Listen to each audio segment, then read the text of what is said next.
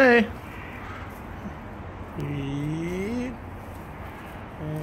Sandals. All right. This is what Mr. Penguin chose. And I'm, I, I'm comfortable. He decided to change the pants because it had a hole in it. all right. And how do you feel though? I feel good. I You feel, feel good? You It feel feels- happy? It feels comfortable. This is a a shirt from my friend.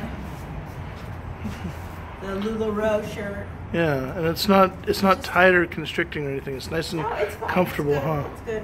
Yeah. The, the skirt's comfortable. The shoes are comfortable. Yeah. You know, he chose the flower and the necklace. He chose that too. So that's cool. And uh, and we're off. We're off to go get some brunch. All right. Thanks.